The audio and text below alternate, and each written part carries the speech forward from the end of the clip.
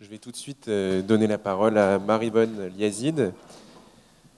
Maribonne Liazid euh, est ex, notamment ex-adjointe du défenseur des droits.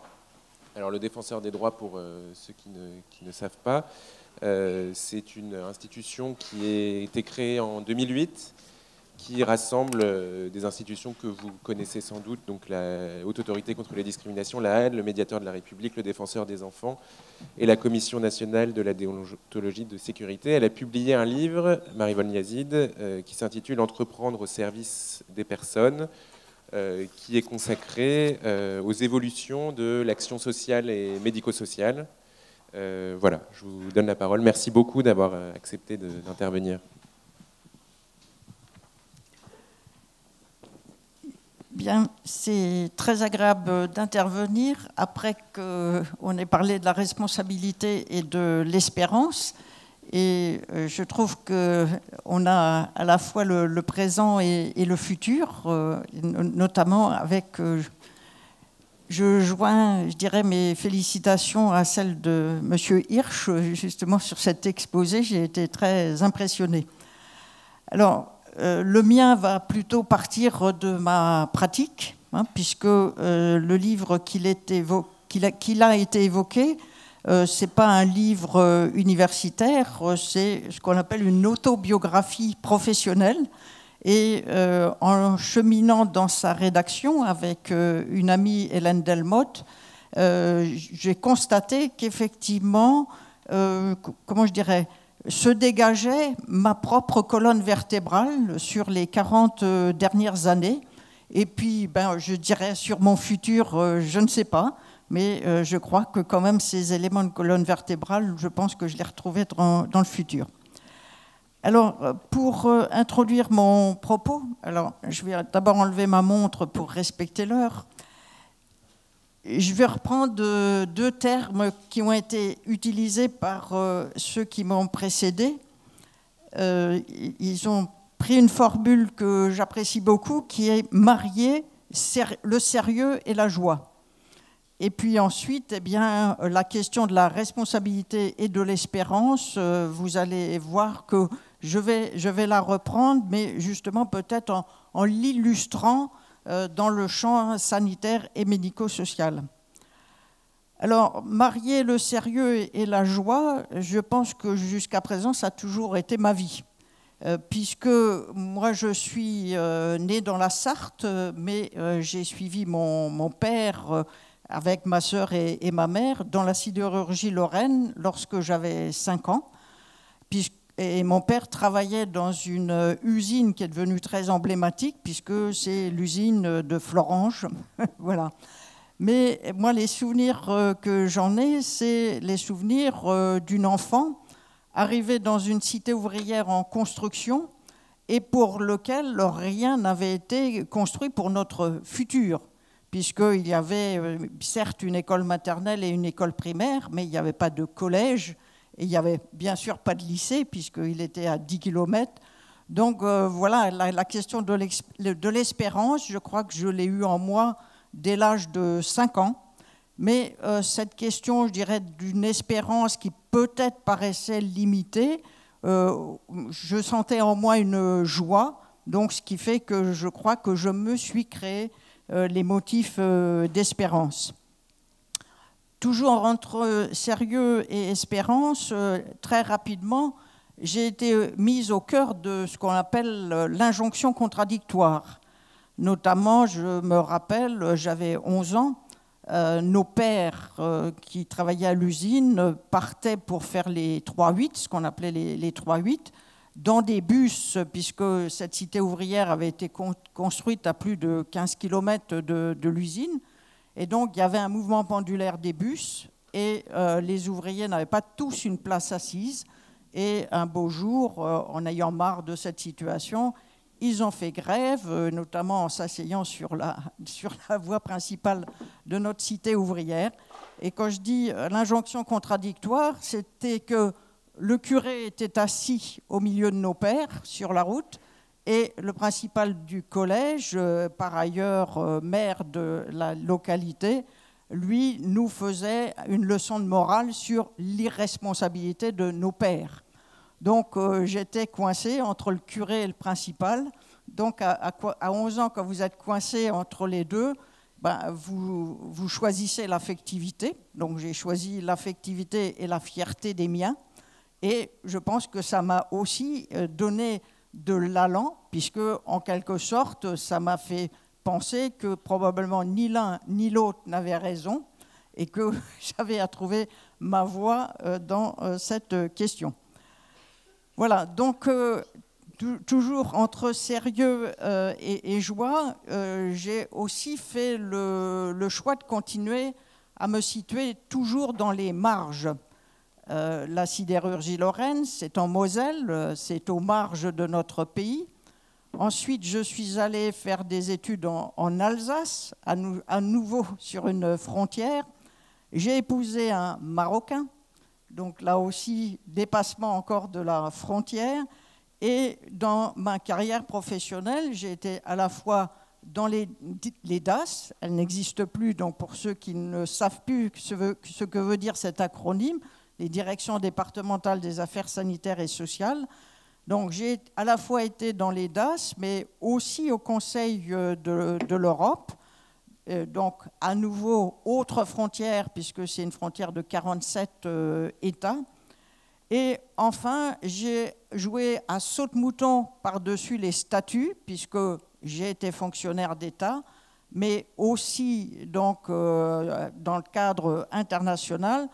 Je suis allé euh, contribuer à la création d'une fondation, la Fondation Caisse d'épargne pour la solidarité, et j'ai également été euh, militante associative lorsque je n'étais plus fonctionnaire d'État mais essentiellement pour créer des associations, puisque j'ai créé une association qui était sur les questions euh, d'immigration et de petite enfance, et également de, euh, une autre association sur le développement des services à personne.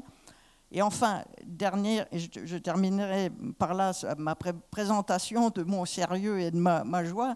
La dernière frontière, c'est la frontière euh, africaine bien sûr euh, induite par euh, ma découverte du Maroc euh, lorsque j'étais extrêmement jeune, mais également de l'Afrique noire, puisque j'ai présidé pendant un certain nombre d'années la fondation de l'hôpital du docteur Albert Schweitzer à Lambaréné. Donc voilà une autre, une autre frontière. Donc, qu'est-ce que dans tout ce cheminement qui pourrait paraître euh, un inventaire euh, à la préfère ou une espèce de vie euh, qui se serait laissée balloter par les opportunités, j'ose dire qu'après avoir écrit ce livre, ben, ça m'a permis de me dire à moi-même quelle était ma colonne vertébrale. Ma colonne vertébrale, c'est justement tout d'abord la reconnaissance, euh, enfin, comment je dirais, l'appréhension de l'autre toujours comme, euh, comment je dirais, acteur de compétences, pour moi source de curiosité, et pas du tout comme un euh, sujet à catégoriser. Hein. personnes âgées, personnes malades, personnes handicapées, personnes immigrées, etc., etc. Euh, ma vie à saute-mouton euh, m'aurait m'avait d'emblée catégorisé hein, comme fille d'ouvrier sans perspective. Donc je crois que ce refus de catégorisation euh, de l'autre a marqué profondément ma vie.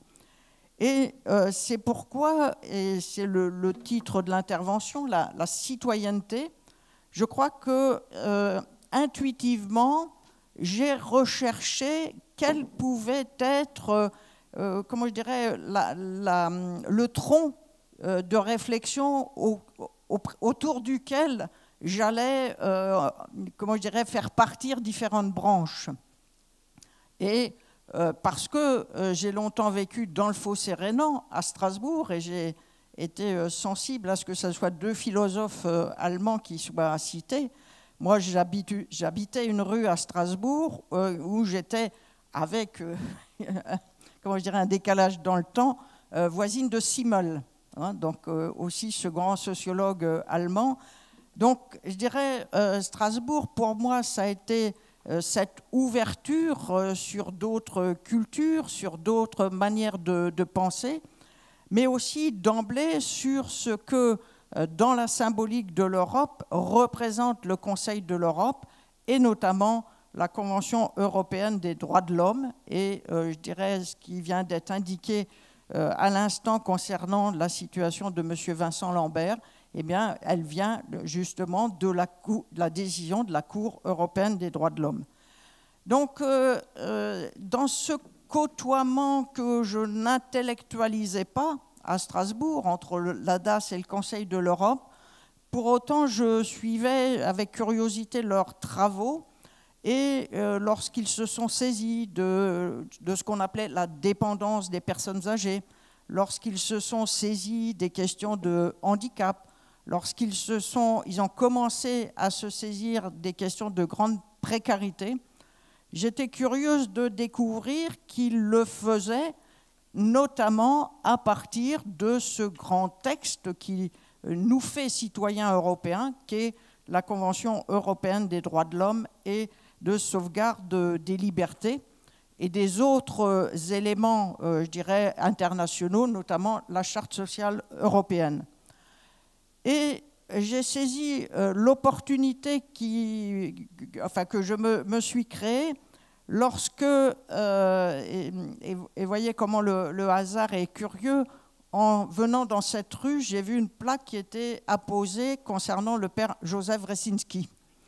Eh bien, euh, le père Joseph Resinski, je lui dois cette ouverture européenne, puisque euh, le père Joseph euh, avait fait dans, à la fin des années 80, des années 80, oui, un travail pour le Conseil économique et social qui n'était pas environnemental à l'époque, un travail sur, je dirais, la question des droits de l'homme et de la grande pauvreté. C'est le premier travail, me semble-t-il, qui justement, euh, comment je dirais, amenait à, nous faire réfléchir sur le respect de la dignité de toute personne en l'appréhendant par ses droits. Ce, travail avait, été, avait suscité la curiosité du Conseil de l'Europe et de sa secrétaire générale de l'époque, Madame Catherine Lalumière, et elle avait souhaité approfondir cette intuition développée par le Père Joseph donc dans son euh, rapport au Conseil économique et social. Et euh, après avoir demandé à un chercheur euh, irlandais qui s'appelait Hugh Fraser de faire un, travail exploratoire pour voir de quelle manière pourrait être travaillée cette question de droits de l'homme et de grande précarité, eh bien, il a été décidé que se ferait euh, un, je dirais, un travail approfondi, et c'est ce travail approfondi euh, que je me suis donné les moyens d'obtenir.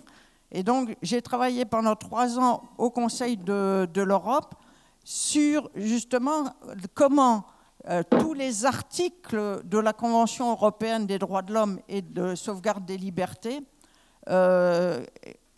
en quoi ils étaient atteints par les situations d'exclusion sociale. Et donc, nous avons réalisé avec euh, une universitaire euh, de Leicester euh, un, travail pan-européen de, de, description des situations d'exclusion sociale et ensuite un travail de réflexion politique et stratégique pour justement positionner les questions d'exclusion sociale comme attentatoires aux droits de l'homme. Et pour moi, je dirais, c'est un moment fondateur de, ma vie professionnelle parce que j'y ai euh, découvert par là, je dirais, ce qui me permettait de confirmer cette intuition que nous sommes tous euh, égaux en droit et que cette approche-là pouvait permettre de réfléchir à dépasser les catégorisations, qui étaient très forte en France à ce moment-là, et les politiques publiques qui allaient avec ces catégorisations.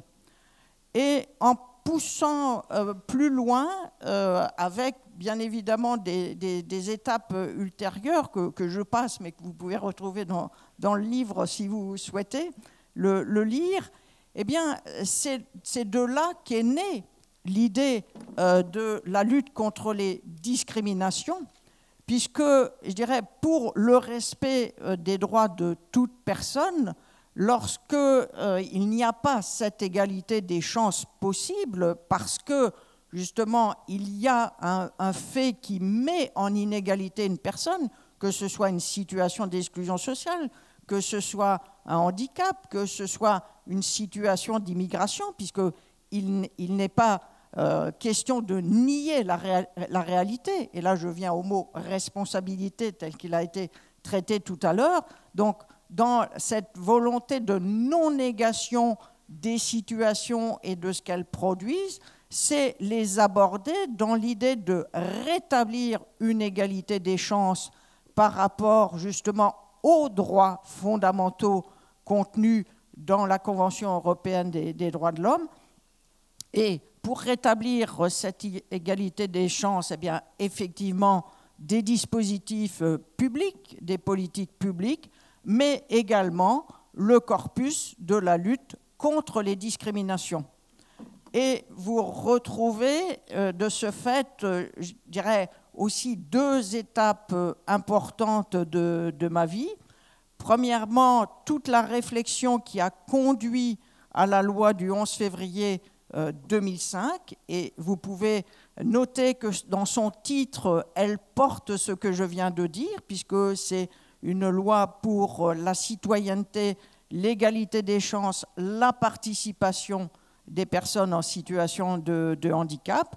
Et au moment où cette réflexion s'amorçait à la fin des années 90 pour déboucher en 2005 sur cette loi, sur le même temps se construisait notre corpus de textes par rapport à la lutte contre les discriminations et qui allait aboutir à la création, enfin, je dirais, une loi de fin 2005 sur la lutte contre les discriminations et la création de la HALD euh, donc, en janvier 2006. Euh, donc, euh, je voulais partager avec vous ces repères importants pour vous dire aussi ce que pour moi est justement la citoyenneté des, personnes.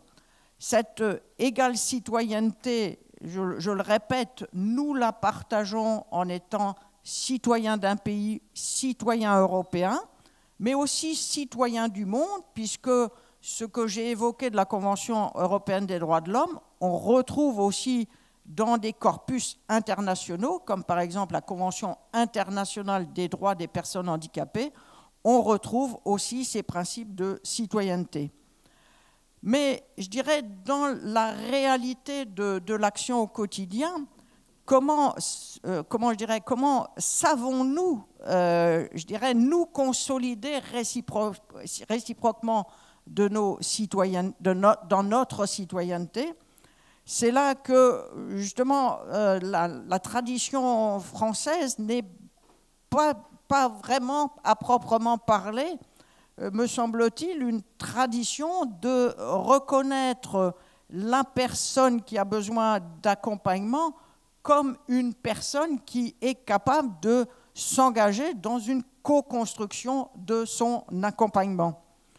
Et là euh, aussi, je, passe parce que je ne veux pas être trop longue, je pense qu'il y a dans l'action au quotidien, que ce soit dans le champ professionnel ou dans le champ de la militance, à poser des actes symboliques qui justement donne cette euh, égale euh, place.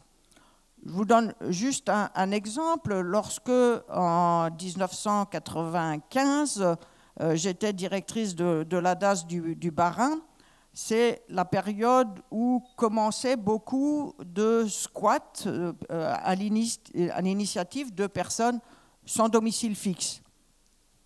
Nous avons eu aussi à Strasbourg un certain nombre de, de ces squats et notamment un, squat où nous avons fait euh, le choix avec la maire de Strasbourg de l'époque, Madame Catherine Trottmann, avec le préfet de, de l'époque, de ne pas procéder immédiatement à l'expulsion des personnes.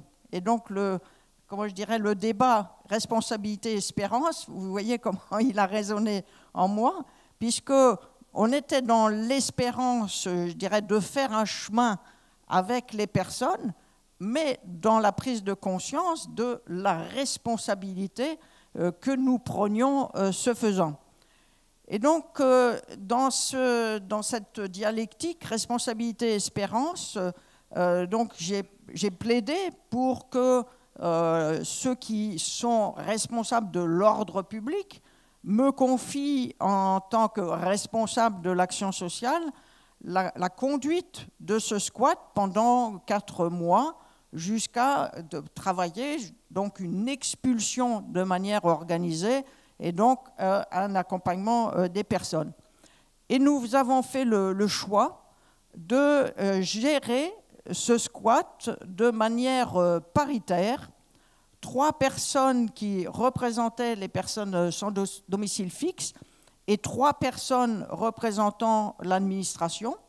J'en faisais partie des trois, avec euh, le directeur adjoint de, la DAS de, l'époque et le médecin inspecteur de santé publique, euh, puisqu'il y avait beaucoup de problématiques de toxicomanie parmi aussi les, personnes qui étaient dans, ce squat.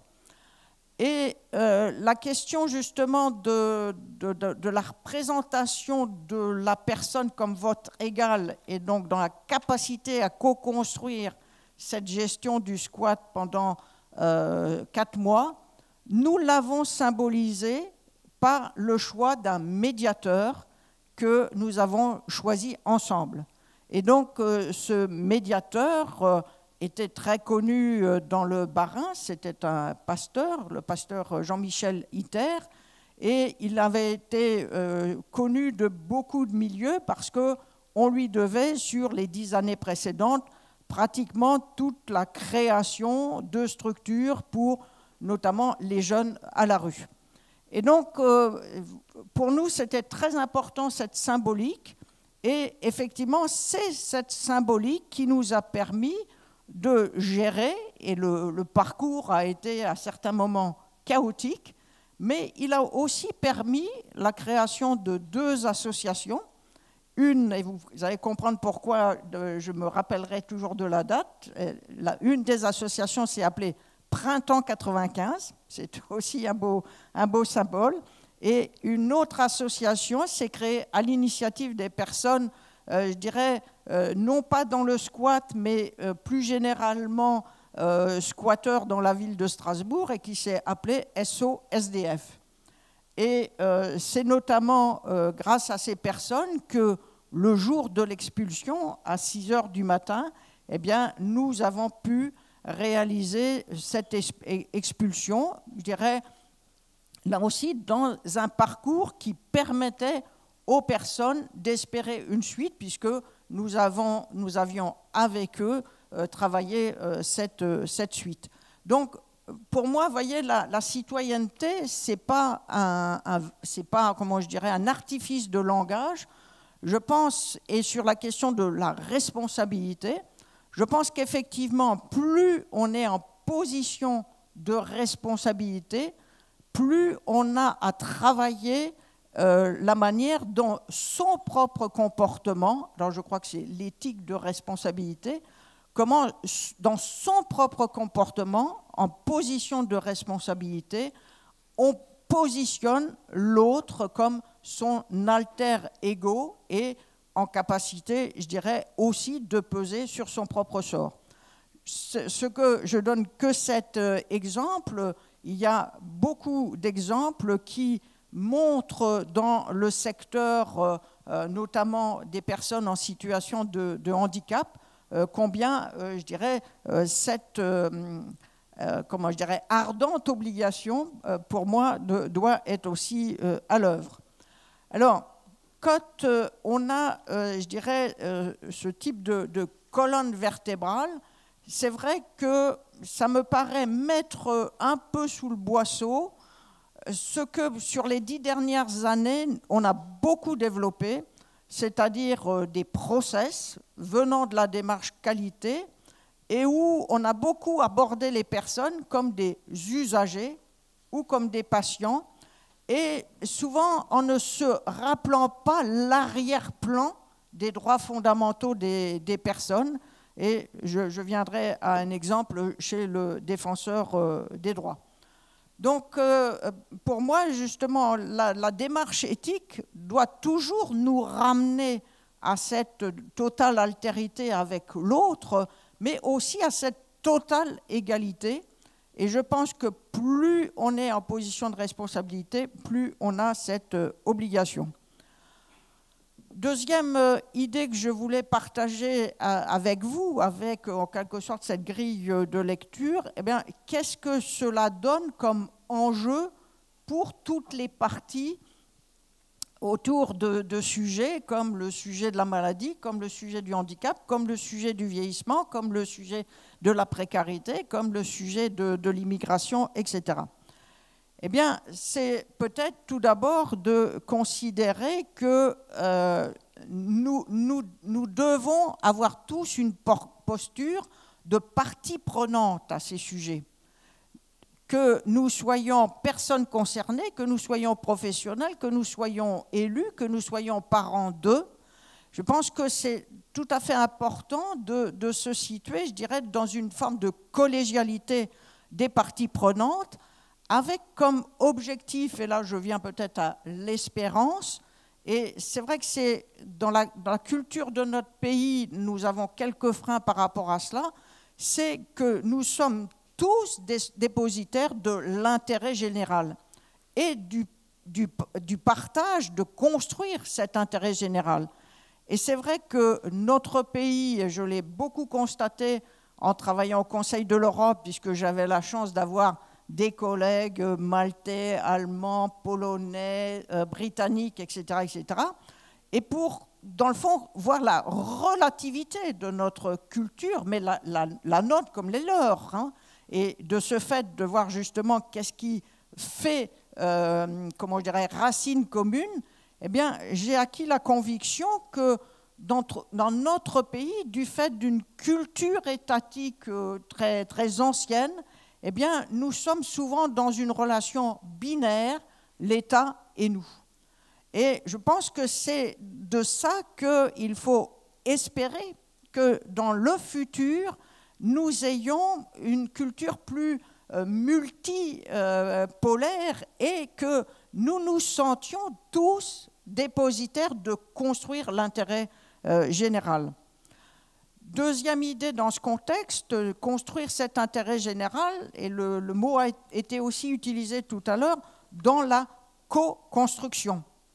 Hein, et là aussi, euh, je dirais, nos démarches technocratiques euh, actuelles font que souvent, euh, on a fixé l'objectif et on demande aux, parties prenantes, à, ces groupes de travail qui doivent travailler un objectif, de, travailler l'objectif, mais pas la remise en cause de l'objectif.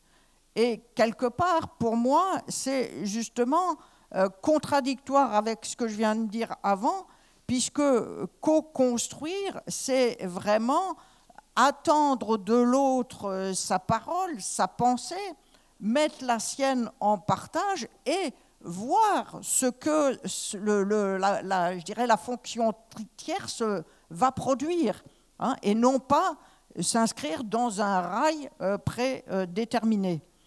Et donc tout cela veut dire que justement, dans quelques milieux que, que ce soit, eh bien, on, croit au dialogue civil, on croit au dialogue social et on croit aussi à l'équilibre des pouvoirs. Et euh, c'est là mon expérience, pardon, mon expérience d'adjointe du défenseur euh, des droits euh, qui m'a amené à consolider ces, idées. Je pense aussi que euh, si on prend cette colonne vertébrale de l'égalité que sont les droits fondamentaux, il faut pouvoir jouer l'équilibre des pouvoirs par rapport au respect de ces droits, à la fois le pouvoir euh, exécutif, à la fois le pouvoir législatif, à la fois aussi toute l'implication de la société civile, mais aussi ces autorités indépendantes qui, de par le monde et en particulier en, Europe, puisque c'est une obligation au, sein de l'Union européenne d'avoir cette fonction d'ombudsman, c'est-à-dire cette capacité que peuvent avoir les citoyens de recourir à cette, à cette autorité indépendante lorsqu'ils considèrent que leurs droits fondamentaux ne sont pas euh, respectés.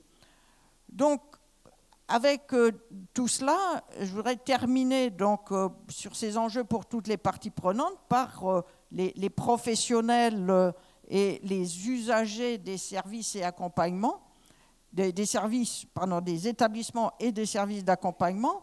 Ben, c'est peut-être justement de dire que nous, professionnels, nous devrions peut-être évoluer dans nos positionnements en évoluant aussi dans la sémantique et n'en n'étant pas seulement sur la question des usagers.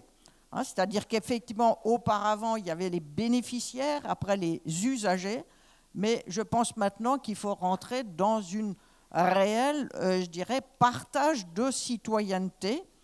Et euh, avec euh, Elisabeth Zuckman, je crois qu'on a partagé une expression de citoyenneté la, semaine dernière par l'installation d'un conseil scientifique euh, de euh, la plateforme, de, l'enseigne des services à personne dans le champ du, handicap.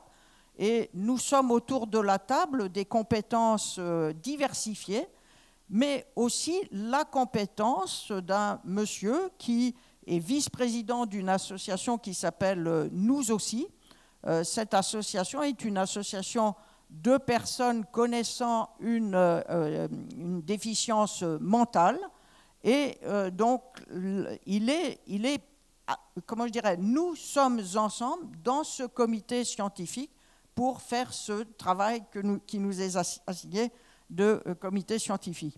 Peut-être après, au travers des questions, on pourra vous expliquer justement comment cette, euh, euh, expression concrète de citoyenneté s'accompagne aussi pour pas que ce soit un leurre. Enfin, euh, je voudrais terminer dans un peu un, triptyque qui était donc ces droits fondamentaux, la place de chacun en tant que citoyen. Eh bien, effectivement, quelle, quelle gouvernance ça nécessite que l'on réfléchisse alors, les gouvernances euh, à la fois, je dirais, euh, au plan étatique, mais aussi la gouvernance de tous ceux qui produisent euh, des services d'accompagnement.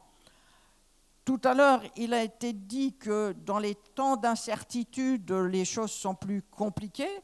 Je pense personnellement que c'est dans ces temps d'incertitude qu'il faut encore plus entreprendre et avoir cette euh, volonté euh, de continuer à, euh, je dirais, se situer. alors, vous avez compris que moi, je me situe résolument dans l'espérance, mais toujours dans la prise en compte de contexte et avec les responsabilités qui, vont avec. Je, je pense qu'actuellement, il est important de souhaiter que le fait associatif, alors là je parle plutôt du fait militant, se refondent euh, au travers de projets politiques. Je pense qu'il y a vraiment à se réapproprier la sphère, euh, je dirais, de la pensée, la sphère de la volonté d'entreprendre dans la, militance associative et euh, que ça ne peut pas être, je dirais, que de la sous-traitance de politiques publiques. J'en veux pour, preuve, euh, à, l'heure actuelle, je conduis un certain nombre d'accompagnements stratégiques de fondations et d'associations, et je suis assez frappé euh, du fait que, euh, comment je dirais, la, la, dernière décennie, pour eux, semble se caractériser par une réflexion sur la gouvernance, alors des fonctions support, les, ressources humaines, les affaires financières, les questions immobilières, etc. Mais que euh, le primat n'est souvent pas le cœur de métier, c'est-à-dire pourquoi faisons, entreprenons-nous ce que nous allons entreprendre, avec qui. et là, c'est assez frappant que justement euh, ce que je, viens de dire de ces droits euh, fondamentaux euh, est, peu à l'œuvre. Alors très concrètement, mais au travers de questions, je pourrais le développer, est peu à l'œuvre dans notamment les établissements médico-sociaux. Donc je, plaide pour vraiment refonder le fait politique et puis qu'il y ait une gouvernance qui articule et qui impulse aussi des orientations politiques, mais surtout qui, euh, comment je dirais, euh, s'appuie sur euh, ce qui se passe dans le réel et dans la manière dont les personnes, je dirais, agissent pour leur, leur, propre développement. Donc, s'appuie sur ce qui est constaté là pour justement alimenter euh, le projet euh, politique.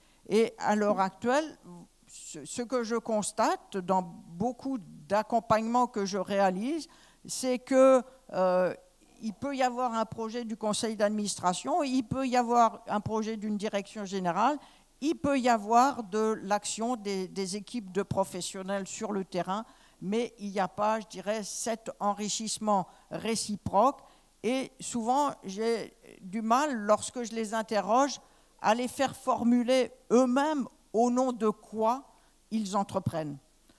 En conclusion, euh, donc je ne vais pas paraphraser mes prédécesseurs, mais c'est pour moi ce dont il s'agit, c'est effectivement soit subir le, futur, soit construire euh, l'avenir. Et en se en, se positionnant résolument sur le fait de passer de nos peurs, et c'est vrai qu'à l'heure actuelle, euh, c'est vraiment souvent le contenu de nos débats.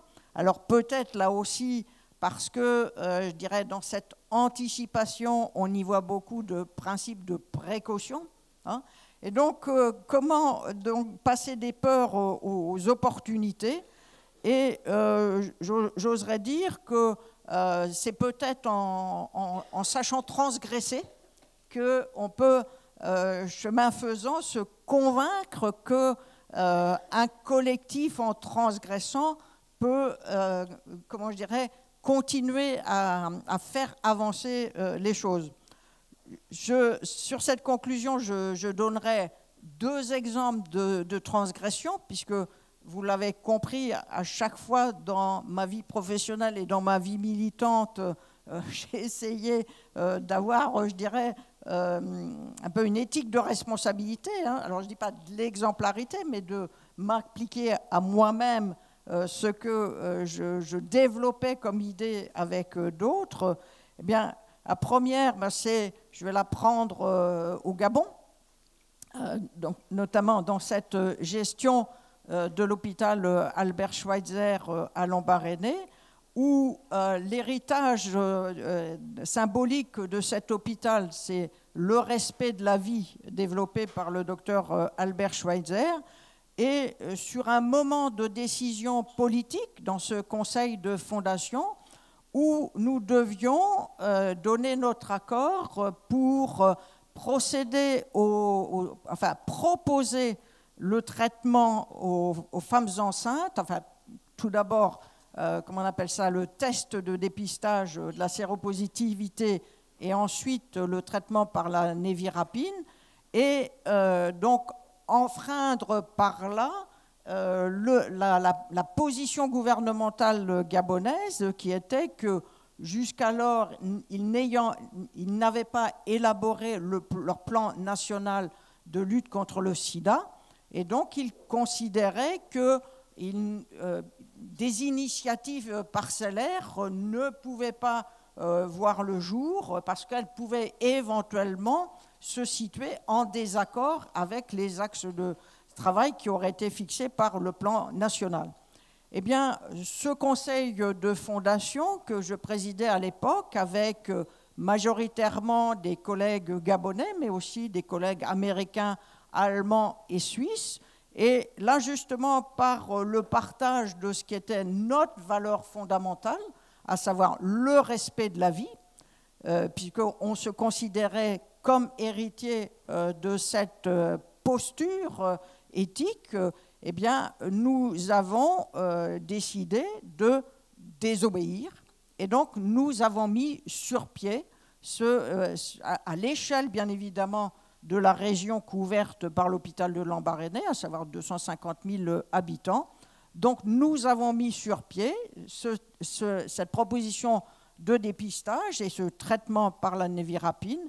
Et lorsque j'ai quitté ma fonction de présidente, là aussi, je veux dire, les, les projections les plus pessimistes qui disaient mais les femmes enceintes ne souhaiteront pas euh, se faire euh, tester et ensuite ne prendront pas le médicament, eh bien, c'était des, prévisions extrêmement pessimistes, puisque, à nouveau, l'espérance, toutes les femmes enceintes ont euh, souhaitaient avoir ce test et toutes ont bénéficié euh, du traitement par la névirapine et j'ai quitté ma présidence parce que là aussi c'est une fondation très sage, on ne fait que deux mandats de trois ans et on quitte et on passe au suivant. Donc euh, j'ai quitté ma présidence avec aucun enfant séropositif. Voilà, voilà l'espérance, elle est à portée de, demain. Deuxième exemple de, de, l'espérance et là, on était au, début de la vie, je vais le chercher à l'autre bout de la vie. Euh, chez le défenseur euh, des droits, on s'est saisi de beaucoup de situations euh, de personnes accueillies en EHPAD, en établissement d'hébergement pour personnes âgées dépendantes, j'aime pas, j'aime pas ce terme, et notamment du fait que euh, plus euh, je veux dire, c'est des chiffres globaux, 60% euh, des contrats de séjour des personnes donc, accueillies en EHPAD ne sont pas signés par les personnes, alors qu'il y a seulement 23% de personnes qui bénéficient de mesures de protection. Cherchez l'erreur. Hein. C'est que effectivement, à l'autre bout de la vie, là aussi, la personne n'est peut-être plus considérée comme une personne, avec notamment ce droit primordial, euh, justement, et droits fondamentaux qui est le choix de son lieu de vie, et que, quelle que soit la situation dans laquelle on était, j'étais très sensible à ce qui a été dit sur la maladie d'Alzheimer, quelle que soit sa situation, je pense personnellement qu'on peut en dire quelque chose. Hein, et y compris les situations qui nous paraissent les moins propices à l'expression de, la parole. Dernière euh, phrase, c'est vrai que mon livre, euh, euh, l'éditeur a souhaité l'appeler Entreprendre au service des personnes. Bon, J'aime le mot entreprendre, le mot personne, c'est plutôt les citoyens. Et je lui ai mis un, sous-titre qui, est Oser ensemble. Alors pourquoi Oser ensemble C'est parce que l'embarrainé, dans la langue euh, donc de la zone du Moyen-Ogooué, qui est la langue galoa, ça veut dire oser. Voilà, donc ça me paraissait résumer un petit peu tous mes engagements. Merci de votre écoute.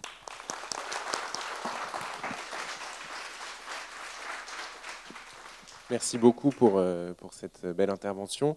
Euh, j'ai été content de voir qu'il y avait beaucoup de résonance avec, euh, avec ce que Léo et moi avons dit, et c'est un peu ça que nous avons voulu aujourd'hui, c'est-à-dire euh, à partir de, disciplines, de regards différents, faire émerger des, questions communes.